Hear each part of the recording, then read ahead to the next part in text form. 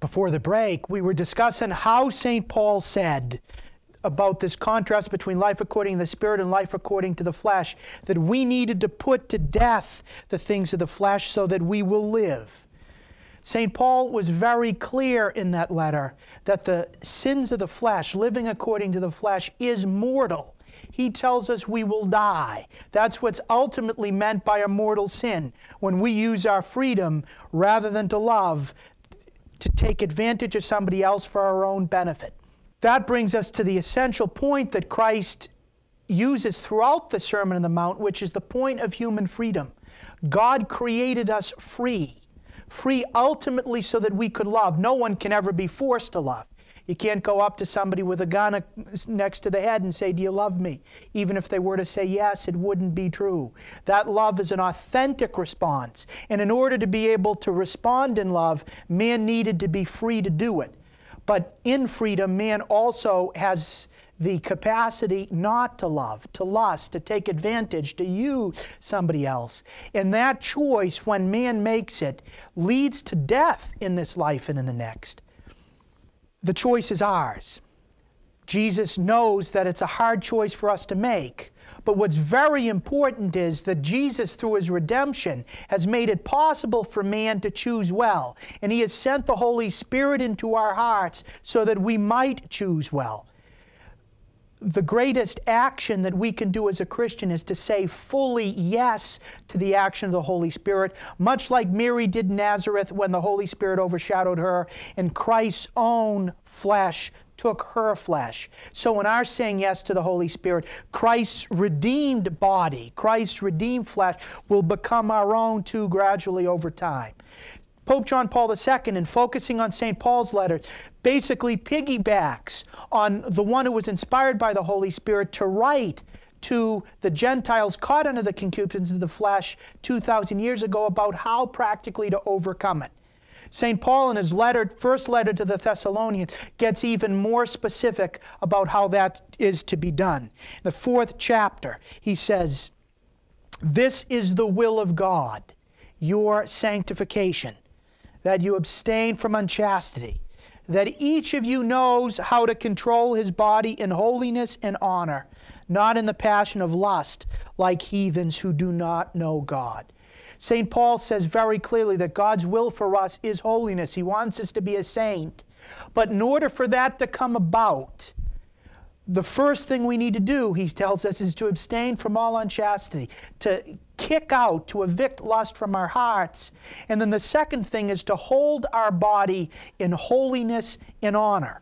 Holiness is not just a thing about our wishes and about our spirit and our soul. Holiness is also supposed to be something that thoroughly invades our entire personality, shown through the body. So we need to hold that body in holiness, we need to hold it in honor.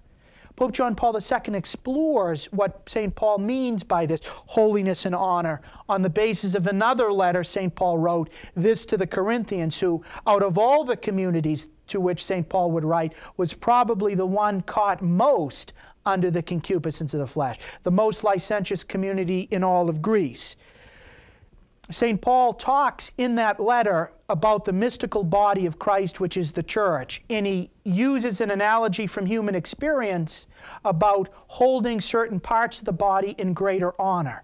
Pope John Paul II says that he's using a sexual analogy to describe the church, but insofar as what St. Paul wrote about that sexual analogy in the human body, we can learn much more about what he means about holding our body in honor. And the 12th chapter, that first letter to the Corinthians, St. Paul writes, But as it is, God arranged the members of the body, each one of them as He chose. If all were a single member, what would the body be? Where would it be? As it is, there are many members, yet one body. The eye cannot say to the hand, I don't need you, nor again to the head to the feet, I have no need of you. On the contrary, the members of the body that seem to be weaker are indispensable. And those members of the body that we think less honorable, we clothe with greater honor. And our less respectable members are treated with greater respect. Whereas our more respectable members do not need this. God has so arranged the body, giving the greater honor to the inferior member, that there may be no dissension within the body, but the members may have the same care for one another. What St. Paul is saying by way of analogy with the church is that by modesty, we hold our inferior members, our sexual parts, in greater honor, that we cover them up, that we treat them with greater respect. That's the type of shame that has a good aspect to it. In the lust that has invaded man's heart, there was a twofold shame. First, they were ashamed of each other, they were ashamed that they were lusting after each other, and that the other was lusting after him. And as a consequence, to prevent that type of sexual utilitarianism, Adam and Eve covered their sexual parts lest they be an object of appropriation for the other. But there was also a positive side to shame which called man back to how God had originally made him, to that nuptial meaning of the body, and they were protecting the nuptial meaning of the body by their covering up those inferior members. St. Paul says that one of the practical consequences of treating the body in holiness and honor is to be modest with those sexual parts so that someone else cannot do them dishonor and so that one person cannot do them dishonor in his own body by exposing them for the intentional gratification of other people. That is precisely what happens in pornography. That's precisely what happens in all types of sort of sexual exhibitionism, which can happen even when people wear clothes. In each of these two last passages of St. Paul, St. Paul reveals that the Christian virtue of purity is the effective way to become detached from the lust of the flesh in the human heart. According to Paul, purity is a capacity centered on the dignity of the person in relation to the femininity or masculinity of the other person's body. Purity is a virtue. Purity is a set of choices, a habit in the human heart that allows man and woman to treat their own body and to treat the other person's body in holiness and honor. Without doing so, man and woman can never become the saints that God calls them to be. Listen to what St. Paul wrote. Do you not know that your bodies are members of Christ? Should I therefore take the members of Christ and make them the members of a prostitute? Never. Do you not know that whoever is united to a prostitute becomes one body with her? For it is said, the two shall become one flesh. But anyone united to the Lord becomes one spirit with him. Therefore, shun fornication. Every sin that a person commits is outside the body, but the fornicator sins against the body itself. Do you not know that your body is a temple of the Holy Spirit within you, which you have from God, and that you are not your own? For you were bought with a great price. Therefore, glorify God in your body. St. Paul describes two things. First, when we make love, when we become united in the flesh with somebody else, that's meant to supposed to be a covenantal expression of the communion of persons. And when we do that with a prostitute, he says, we become one body with that prostitute. Think about what that means. With the use of the second part of that uh, teaching of St. Paul, the body is meant to be a temple of the Holy Spirit. And anytime we live according to the flesh, while our body is supposed to be a temple of the Holy Spirit, it would be like desecrating a church, desecrating a tabernacle where God lives. None of us would ever think about committing a sacrilege like that if we're faithful. But that's precisely what we do when we live according to the flesh.